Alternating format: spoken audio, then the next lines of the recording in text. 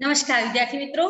Good morning ધોરણ ત્રણ, વિષય ગણિતની અંદર આપણે સ્વાધ્યાય બે લઈ રહ્યા છીએ, જેનું નામ છે સંખ્યાની કમત અગાઉના વિડીયોની અંદર આપણે એકથી નવ પ્રશ્નો એટલે કે દાખલાઓ શીખ્યા છીએ.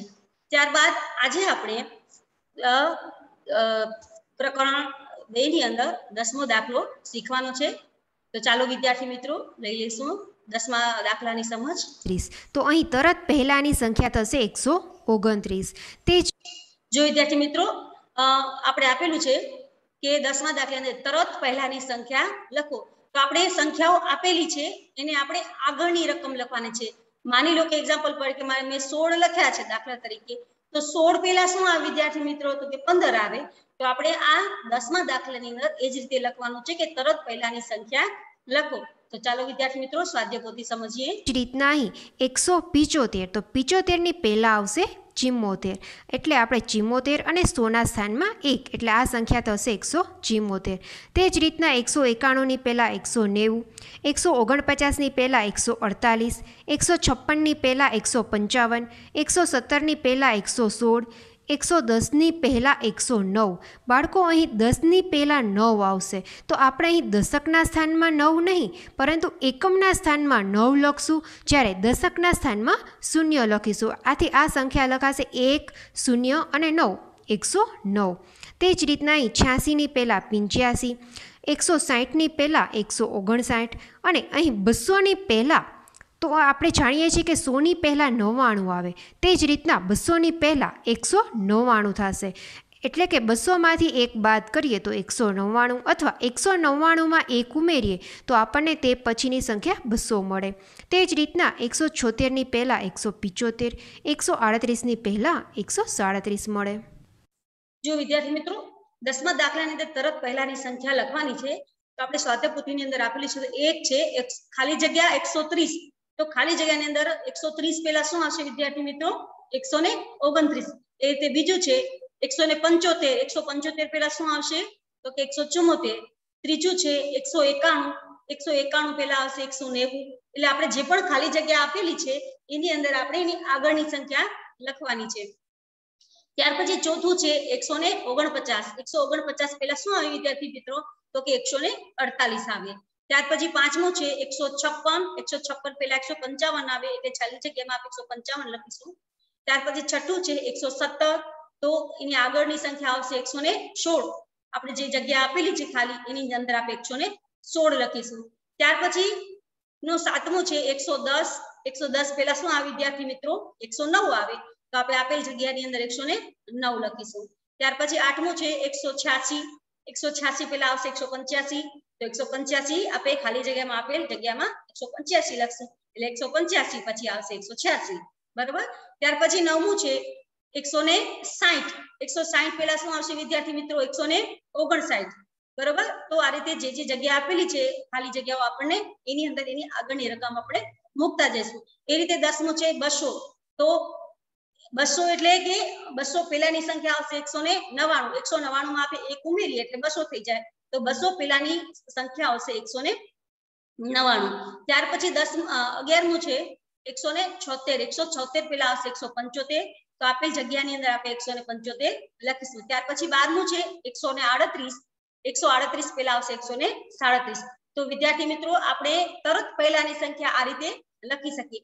જે પણ સંખ્યા આપેલી હોય આગળની જગ્યા ખાલી હોય તો એની આગળની જગ્યા વિચારી અને આપણને અને આગળની જગ્યામાં તરત પહેલાની સંખ્યા આપણે લખવાની રહેશે. ત્યાર પછી વિદ્યાર્થી મિત્રો અગિયારમો દાખલો છે, તરત પછીની સંખ્યા લખો. જેમ આપણે અગાઉ શીખ્યા કે તરત પહેલાની સંખ્યા, હવે તરત પછીની સંખ્યા લખવાની છે. તો તરત પછીની સંખ્યા એટલે દાખલા તરીકે મેં તમને પંદર આપ્યા છે. તો પંદર પછીની શું આવે? તો કે પંદર પછી સોળ આવે. એક્ઝામ્પલ તરીકે બીજું ઉદાહરણ આપીએ. કે અઠ્યાવીસ મેં આપ્યા છે, બરોબર? અઠ્યાવીસ પછી શું આવે વિદ્યાર્થી મિત્રો? ઓગણત્રીસ આવે. તો આ રીતે તરત પછીની સંખ્યા આપણે લખવાની છે. તો ચાલો વિદ્યાર્થી મિત્રો સમજીએ. પ્રશ્ન અગિયાર. તરત પછીની સંખ્યા લખો. અહીં એકસો ઓગણસિત્તેર છે. તો ઓગણસિત્તેર પછી સિત્તેર આવે. આથી એકસો ઓગણસિત્તેર પછી એકસો સિત્તેર, એકસો પિચોતેર પછી એકસો છોતેર, એકસો બત્રીસ પછી એકસો તેત્રીસ, એકસો સત્યાવીસ પછી એકસો અઠ્યાવીસ, એકસો ત્રણ પછી એકસો ચાર આવે. એકસો ચાલીસ પછી એકસો એકતાલીસ, એકસો સત્તાણું પછી એકસો અઠ્ઠાણું એકસો ચોપન પછી એકસો પંચાવન, એકસો ઓગણપચાસ પછી એકસો પચાસ, એકસો છાસઠ પછી એકસો સડસઠ, એકસો પંદર પછી એકસો સોળ, જ્યારે એકસો બ્યાસી પછી એકસો ત્યાસી આવશે. જો વિદ્યાર્થી મિત્રો, તરત પછીની સંખ્યા આપણને લખવાની છે. તો તરત પછીમાં આપણે એક લખ્યું છે, એમાં લખ્યું છે એકસો ને ઓગણસિત્તેર અને પછી ખાલી જગ્યા મૂકેલ છે, બરોબર? તો આપણે એકસો ને ઓગણસિત્તેર પછી શું આવશે વિદ્યાર્થી મિત્રો? તો કે એકસો ને સિત્તેર આવે. ત્યાર પછી બીજું છે એકસો પંચોતેર. એકસો પંચોતેર પછી આવશે એકસો ને છોતેર. તો આપેલ જગ્યામાં આપણે એકસો છોતેર લખીશું. ત્યાર પછી એકસો ને બત્રીસ છે. તો ખાલી જગ્યામાં આપણે લખશું એકસો ને તેત્રીસ. તરત પછીની સંખ્યા આપણને લખવાની છે એટલા માટે. ત્યાર પછી ચોથું છે એકસો ને સત્યાવીસ. એકસો સત્યાવીસ પછી શું આવે? તો કે એકસો ને અઠ્યાવીસ આવે. તો આપેલ જગ્યાની અંદર આપણે એકસો ને અઠ્યાવીસ લખશું. ત્યાર પછી પાંચમું છે. એકસો ને ત્રણ. એકસો ત્રણ પછી શું આવશે વિદ્યાર્થી મિત્રો? એકસો ને ચાર આવે. તો આપણે તરત પછીની સંખ્યામાં એકસો ત્રણ પછી એકસો ચાર ખાલી જગ્યામાં લખીશું. ત્યાર પછી એકસો ચાલીસ છે. એકસો ચાલીસ પછી વિદ્યાર્થી મિત્રો શું આવશે? તો કે એકસો ને એકતાલીસ આવે. તો તરત પછીની સંખ્યા આપણે એકસો ને એકતાલીસ લખીશું. ત્યાર પછી સાતમું છે. એકસો ને સત્તાણું. તો એકસો સત્તાણું પછી શું આવશે વિદ્યાર્થી મિત્રો? એકસો ને અઠાણું આવે. તો તરત પછીની સંખ્યામાં એકસો સત્તાણું, પછી એકસો ને અઠાણું. આપેલ જગ્યાની અંદર આપણે એકસો ને અઠાણું લખીશું. ત્યાર પછી આઠમું છે એકસો ચોપન. એકસો ને ચોપન પછી આવશે તરત પછીની સંખ્યા એકસો ને પંચાવન. તો આપણે આપેલ જગ્યાની અંદર આપણે એકસો ને પંચાવન લખીએ એટલે એકસો ચોપન પછી એકસો ને પંચાવન. આ જ રીતે નવમું છે એકસો ને ઓગણપચાસ. એકસો ઓગણપચાસ પછી શું આવશે વિદ્યાર્થી મિત્રો? તો કે એકસો ને પચાસ આવશે.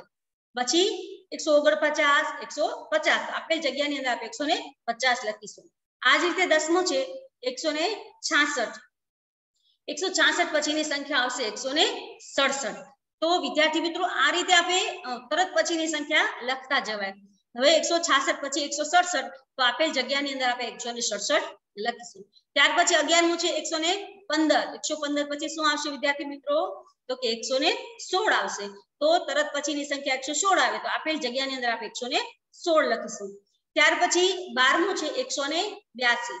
એકસો બ્યાસી પછી આવશે એકસો ને ત્ર્યાસી. તો વિદ્યાર્થી મિત્રો, આ રીતે તરત પછીની સંખ્યા આપણે લખી શકીએ. અગાઉ આપણે તરત પહેલીની સંખ્યા લખી, ત્યાર પછી આપણે તરત પછીની સંખ્યા લખી. ત્યાર પછીનો દાખલો લઈ આપે વચ્ચેની સંખ્યા લખો. તો ચાલો વિદ્યાર્થી મિત્રો, સ્વાધ્યાય પોથી પ્રમાણે સમજ લઈએ. બાળકો, અહીં બધી જ સંખ્યાઓ અંગ્રેજીમાં લખવા પ્રયત્નો કરવા. પ્રશ્ન બાર, વચ્ચેની સંખ્યા લખો. તો અહીં એકસો છ અને એકસો આઠની વચ્ચે આવશે એકસો સાત. તે જ રીતના અહીં એકસો સત્તર અને એકસો ઓગણીસની વચ્ચે આવશે એકસો અઢાર. તે જ રીતના એકસો આડત્રીસ અને એકસો ચાલીસની વચ્ચે આવશે એકસો ઓગણચાલીસ, એકસો અઠ્ઠાવન અને એકસો સાઠની વચ્ચે એકસો ઓગણસાઠ, એકસો છાસઠ અને એકસો અડસઠની વચ્ચે એકસો સડસઠ, અહીં એકસો એકોતેર, એકસો બોતેર, એકસો તોતેર, તે જ રીતના એકસો ત્યાસી, એકસો ચોર્યાસી, એકસો પંચ્યાસી, અહીં એકસો સત્તાણું, એકસો અઠ્ઠાણું, એકસો નવ્વાણું, અહીં એકસો ચોવીસ, એકસો પચીસ, એકસો છવ્વીસ. જો વિદ્યાર્થી મિત્રો અગાઉ આપણે તરત પહેલાની સંખ્યા શીખ્યા, તરત પછીની સંખ્યા શીખ્યા. હવે આપણે શું શીખવાનું છે? તો કે વચ્ચેની સંખ્યા લખો. તો વિદ્યાર્થી મિત્રો, વચ્ચેની સંખ્યામાં શું આવશે? તો આગળ અને પાછળ બંને રકમ આપેલી હશે. ત્યારબાદ વચ્ચેની જગ્યા ખાલી હશે. તો જે ખાલી જગ્યા છે, એ વચ્ચેની સંખ્યા આપણને લખવાની છે. તો ચાલો વિદ્યાર્થી મિત્રો, આપણે એક લઈએ. એકસો છ ખાલી જગ્યા, એકસો આઠ. તો એકસો છ પછી શું આવશે વિદ્યાર્થી મિત્રો? એકસો સાત આવે અને પછી એકસો આઠ આવે. તો વિદ્યાર્થી મિત્રો, આ રીતે વચ્ચેની સંખ્યા આપણને લખવાની છે. ત્યાર પછી બીજું છે, એકસો ખાલી જગ્યા એકસો તો ખાલી જગ્યામાં શું આવશે વિદ્યાર્થી મિત્રો? એકસો આવશે. ત્યાર પછી આપેલું છે, એકસો ખાલી જગ્યા એકસો વિદ્યાર્થી મિત્રો. તો આપણે એને આ એકસો અને એકસો ની વચ્ચે શું આવશે? તો કે એકસો આ રીતે આપણે વિદ્યાર્થી મિત્રો વચ્ચેની સંખ્યા આપણને લખવાની છે. તો ચાલો વિદ્યાર્થી મિત્રો ચોથું લઈએ. એકસો અઠાવન, એકસો ઓગણસાઠ અને એકસો ને સાઠ. એકસો અઠાવન અને એકસો સાઠ આપેલા જ છે અને વચ્ચેની સંખ્યા છે એકસો ને ઓગણસાઠ. ત્યાર પછી વિદ્યાર્થી મિત્રો આપેલું છે એકસો છાસઠ અને એકસો ને અડસઠ. તો વચ્ચેની સંખ્યા આવશે એકસો ને સડસઠ. તો આપણે ખાલી જગ્યામાં એકસો ને સડસઠ લખીશું. ત્યાર પછી એકસો ને એકોતેર આપેલા છે. ખાલી જગ્યા આપી છે અને પછી એકસો ને તોતેર આપેલા છે સ્વાધ્યાયપોથીની અંદર. તો ખાલી જગ્યામાં આપણે લખીશું એકસો ને બોતેર. ત્યાર પછી વિદ્યાર્થી મિત્રો, એકસો ને ત્રાસી છે. ખાલી જગ્યા એકસો ને પંચ્યાસી. તો વચ્ચેની સંખ્યા કઈ આવશે વિદ્યાર્થી મિત્રો? તો કે એકસો ને ચોર્યાસી આવશે. ત્યાર પછી આઠમું છે, એકસો સત્તાણું. ખાલી જગ્યા એકસો ને નવ્વાણું. તો વચ્ચેની સંખ્યામાં સત્તાણું અને નવ્વાણું ની વચ્ચે શું આવશે વિદ્યાર્થી મિત્રો? તો કે એકસો ને અઠાણું આવે. તો આપણે ખાલી જગ્યાની અંદર આપણે એકસો ને અઠાણું લખીશું. ત્યાર પછી વિદ્યાર્થી મિત્રો નવમું છે, એકસો ચોવીસ. ખાલી જગ્યા એકસો ને છવ્વીસ. તો એકસો ચોવીસ અને એકસો છવ્વીસની વચ્ચે શું આવશે વિદ્યાર્થી મિત્રો? તો કે એકસો ને પચીસ આવશે. એકસો ચોવીસ, એકસો પચીસ અને એકસો છવ્વીસ.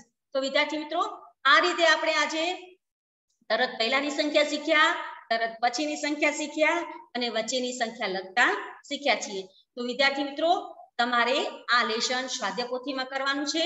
જો સ્વાધ્યાયપોથી નથી, તો નોટની અંદર આ લીધે લેશન કરવાનું રહેશે. અને નોટની અંદર લખ્યા પછી જો તમારે અનુકૂળ સમય હોય તો વ્યવસ્થિત એનો ફોટો પાડી અને આપણે આપણા ગ્રુપમાં શેર કરીશું. એટલે અમને ખ્યાલ આવે કે તમે વ્યવસ્થિત લેસન કરી રહ્યા છો.